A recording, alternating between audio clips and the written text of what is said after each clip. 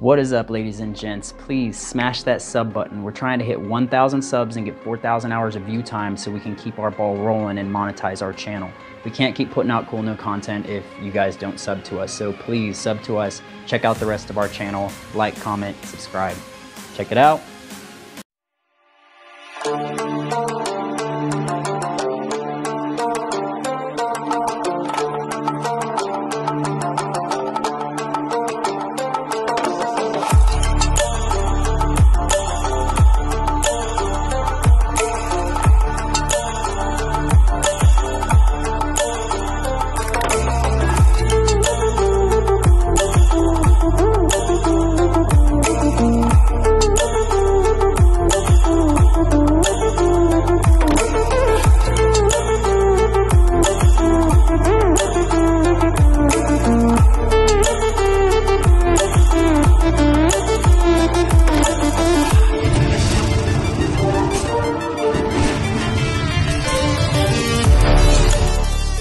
And so our journey began in Frisco, Texas, where we met our client for the very first time.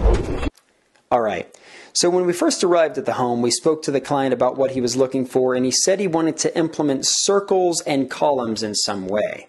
So we came up with a modern column design where the column spans from floor to ceiling and has a sheet of LED backlit plexiglass and it's a vibrant modern look. It just is so cool and unique. We then did a tray drop down ceiling with a faux finish reflective metallic paint and then LED uplighting all around the room. And last but not least, we did these circles. These are coins, we're calling them. They drop down from the ceiling at various heights. They're professionally CNC built, and then they were faux finished with metallics. They're then LED uplit and controlled by their own independent zone on the remote controller. Alright guys, I'm going to bring you through the wiring on this project. When we stepped on this project, we have 5.1.2 wired. So we had two overheads wired up in the top. They were in the wrong location, so we scrapped that wiring. We had three wired up front, which are now all behind the screen, as you can see in that picture. So we ran all new 12 gauge wire to the RS73s and to the RC64 we had to open this speaker up and climb inside this hole to access our other attic up top and then shoot the wires and run them back behind this wall. Uh, for the rears, those were actually the only thing wired in the proper location, so we used that existing wire for our THX 8000Ls in the back. Uh, we ran new 16 gauge wire for the side surrounds, and we ran all new wire for our Pro 160s up top. As for the subwoofers, we ran gold-plated uh, subwoofer cables to the back 150 and to the 310i up front.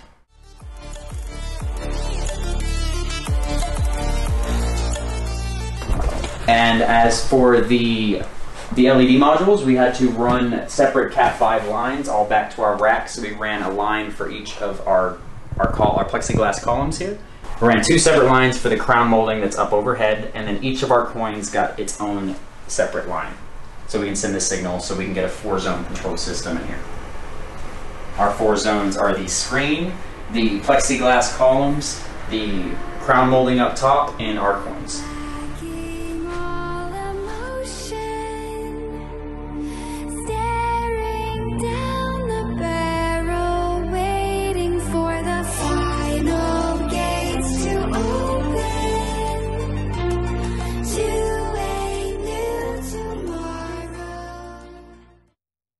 As for projection in our room, we did the Epson 6050, which is one of our favorite projectors aside from the Sony 295ES, but this projector is amazing for its brightness and contrast ratio.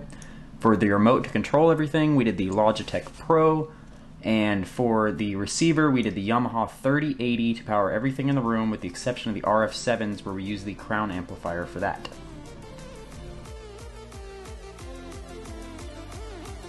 Alright, thank you guys so much for watching. Please like, comment, and subscribe. Thank you very much to That Home Theater Dude for coming down and checking out this awesome project. We were very excited to show you what was up over here. We've got some DIYs planned and also some contests coming up pretty soon. Thank you very much. I appreciate it and see you soon.